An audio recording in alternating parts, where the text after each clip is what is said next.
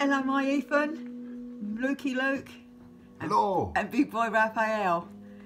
Nanny and Zandad's going to read to you today Titus's troublesome tooth. Titus the goat ate everything. He ate carrots, cabbages, he ate dandelions and dock leaves, he ate prickly, tickly thistles.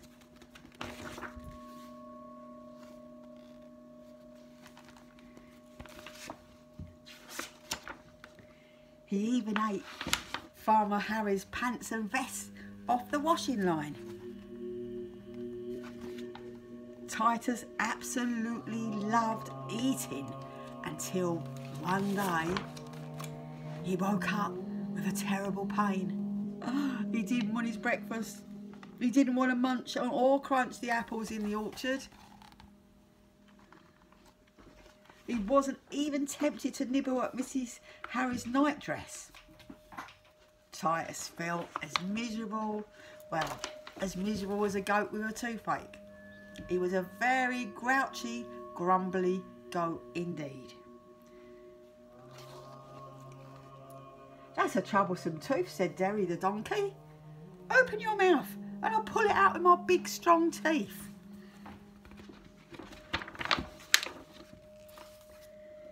Titus shook from his horns to the tip of his tail. Uh, uh, um, no thanks, he bleated. He ran and ran and grouched and grumbled until he reached the farmyard. That's a troublesome tooth, said Sadie, the hen. Open your mouth and I'll peck it out with my nice sharp beak. Titus quivered on all four hooves. Oh no, he said. Titus ran and ran and grouched and grumbled. That it was until he reached the barn. Ooh, that's a troublesome tooth, said Polly the cat. Open your mouth and I'll scratch it out with my long shiny claws. Titus trembled from his white beard to his furry bottom. Uh, uh, oh no thanks, he shouted.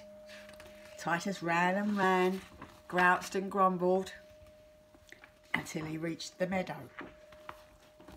Oh, that's a troublesome tooth, said Basil the bull. Open your mouth and I'll butt it out with my hard, curly horns. All of Titus's chief teeth chattered and rattled, even the bad ones. Uh, uh, um, no thanks, he sobbed.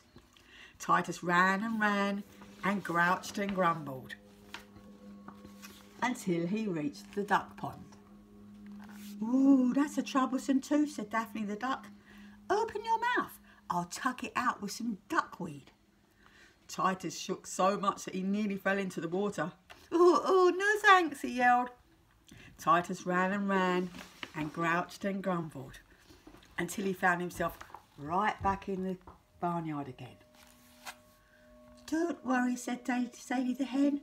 Farmer Harry will get rid of that troublesome tooth for you because he's called the vet.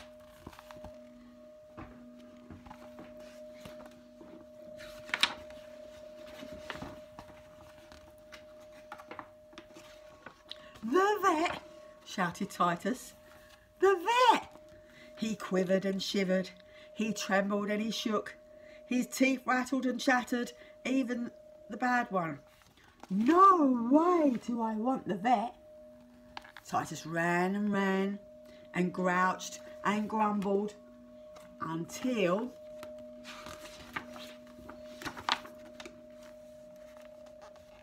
crash, crash.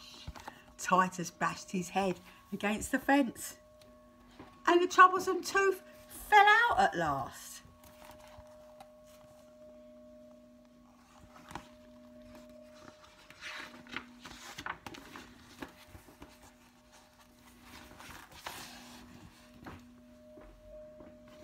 Old Titus was very happy that he didn't have to go to the vet and he was very happy that his bad tooth had fallen out. So that's the end of the story, my lovely boys. So Ethan, Lukey Luke, and big boy Raphael. Nanny and Sandad love you. Sweet dreams. Go to bed like good boys. And I'll see you. I'll see you next week. Love you. Bye then. To say to and Sandad and Nan. Bye bye. Bye bye. Bye bye. Nanny and Sandad love you all. We love you.